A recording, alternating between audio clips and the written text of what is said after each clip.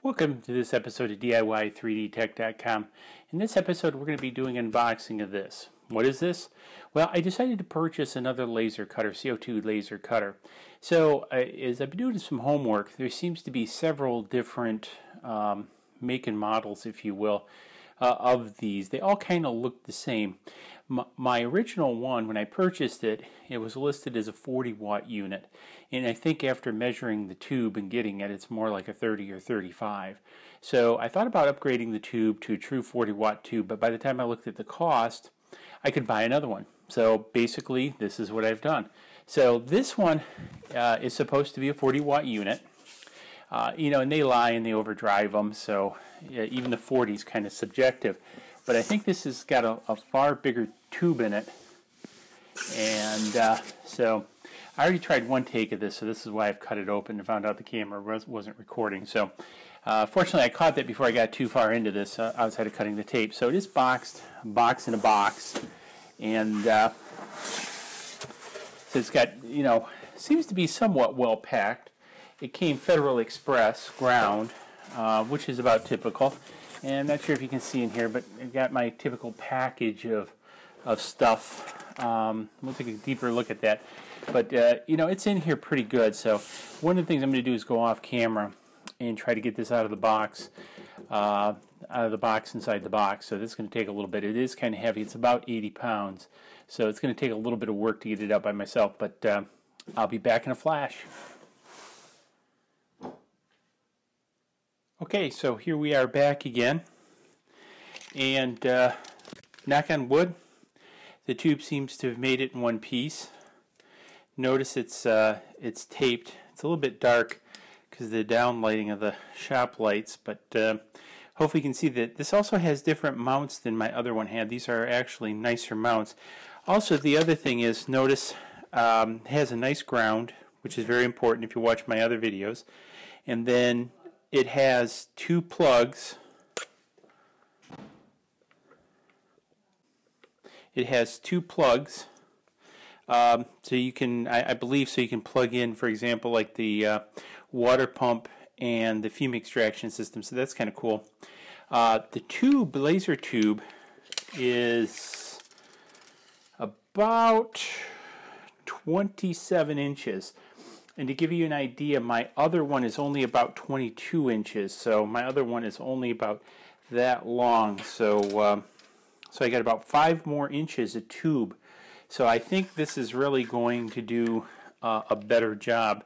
Um, notice the fume extraction hole, obviously this. So I tell you what, let's turn it around and then let's take a deeper look in the front. So biggest thing is I wanted to look at the tube. I wanted to measure it and make sure um, everything was good. Now I haven't filled this with water, but uh, looking at everything, it looks okay. Now it does look a little bit different in design than my other tube. So uh, it's got a little bit of foam in here for packing, uh, but not much. So I'm, I'm surprised, but it seems to have held. So let's flip it around and take a look. Now inside here I got the obligatory stuff. I've got another fan, which I really don't need and take that out. Got another busted up tube for some reason. Now, one of the things I see in here that I don't like already is the motor wires are on my other one. They're nicely tied off. This one isn't. Um, but we can deal with that. It's kind of taped. I'm assuming this is the water pump. Whoops, sorry. Shook you all up there. Yes, this is the infamous Chinese water pump and the nozzle parts in there. Now this is kind of interesting. This has a bigger vice type bed and the whole inside of this I want to make sure I'm going to move you guys up a little closer so you can see this and angle this down this is substantially nicer than um, my other one this is a nice bed now for some reason this isn't bolted in here and it's only has these ties. So I'm really not sure what's up with that, but this is, let me see if I can, I don't know where I have my other one. The other one was a lot smaller, so this is actually pretty interesting that this is so big. Um, but the other thing is, this um, outside of the motor wiring seems to be um, better built than my other one, which is far more money. Uh, the other one was almost $500 with the digital readout. This one doesn't have it, but I don't know why there aren't screws in this to hold this up. Um, but uh, this is actually very interesting. You see the fume extractor comes out here. Um, but I think this is this. They claim to have an 8 by 10 bed, and that's about what this is. I was just looking. What did I do with my ruler? Let's measure this up for you guys. So I would say that's about 9. So I don't think I'm going to get 8 by 10. It's kind of hard to work around the camera, but um, I'd say this is about six six. This opening is about six by nine, and by the time you take this, probably will do about seven by eight. Uh, if you leave this clamp in here. Now I am working up some ideas for a new type of bed mount. Um, I'm going to experiment with, and I'm going to experiment with a different air assist here. But I'm going to move you guys down.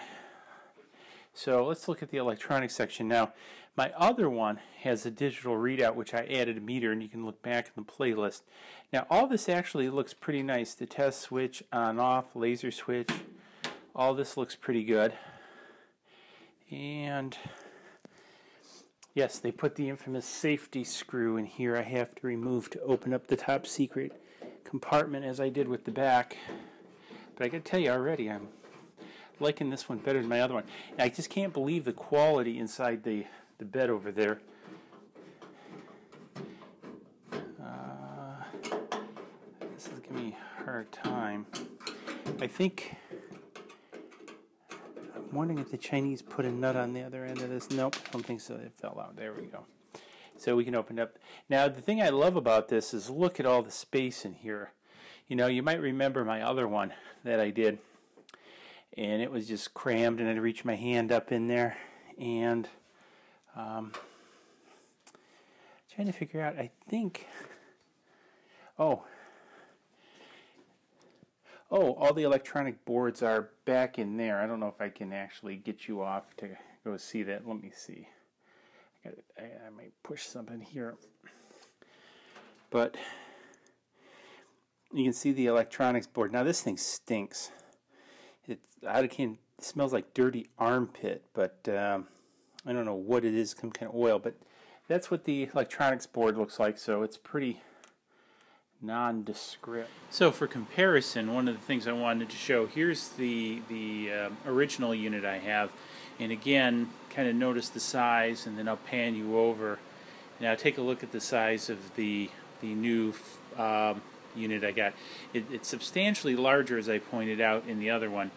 Uh, also, let's um, move up here and take a look at what we have in this package. I'm going to pan you down a little bit. So uh, this package has come with it. Interesting sealed package. It's kind of a Ziploc thing. Opening it up. So I'm not quite sure what the tape is for. We have a USB cable, uh, Ryan Motor Tech DVD.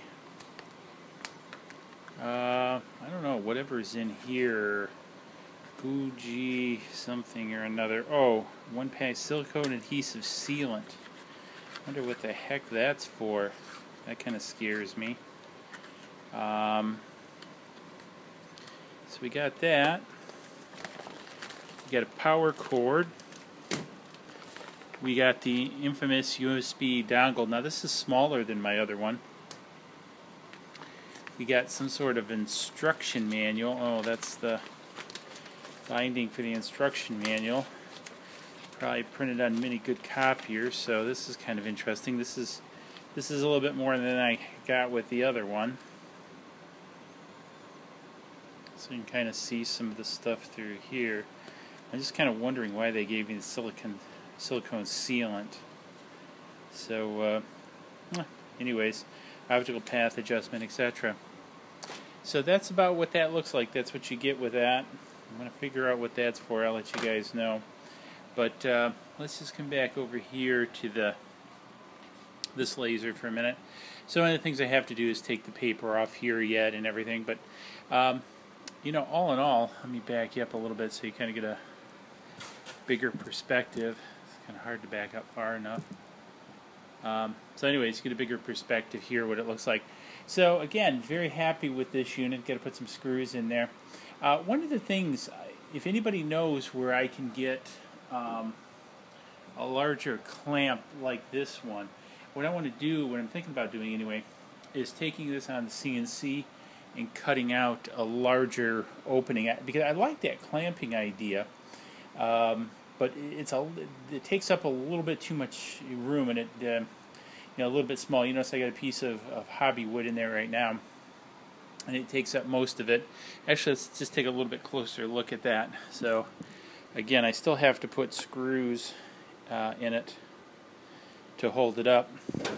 But you see the piece of hobby wood, so uh, you know look, this the distance this takes up is a lot. So I was hoping to maybe have this. And actually, what I might do is take this on the CNC machine and cut this down and remake this um, bracket so it is a lot smaller because the opening is not too bad. But if you guys uh, know where I can get a clamp or clamping mechanism like this, let me know in the comments below. I'd appreciate it. Um, and I've already got redesigned an air assist to go on here. I'm going to do my own air assist this time instead of using the LightObjects like in the past. Uh, one of the things just I just noticed, I'm going to have to take a look at the mirror. Not sure the mirror seated well, but one of the things that I will do in readying this is readying this is clean clean all the mirrors, uh, make sure they're all seated properly. Uh, like this mirror, I don't think is seated properly. I'll go through, check the lens, make sure it's clean, make sure it's in there correctly uh, and, and, make sure all this is in place. Um, just checking to see, oh, that's just a reflection on the bar. I thought the bar was scraped, but it's just a reflection. So, anyways, um, hopefully you found this unboxing interesting. I'm going to be doing a lot more. This one I'm going to I'm going to hopefully leave stock at least for a while because I've had a lot of questions on the stock operation. And then also what I've done is uh, I've gotten another uh, laptop and I'm going to try using that uh, with OBS Studio so you can actually see what's happening in the software as well as I'm going to run a webcam so you can see the laser and what's happening on the screen inside of LaserDRW. So anyways, I think that'll be a little bit interesting bringing those two together. So uh, hey, found this interesting, give a thumbs up, subscribe to the channel. A lot more of this stuff coming, so see you in the next video. Please click like below and subscribe to the channel to keep up to date on all of our projects.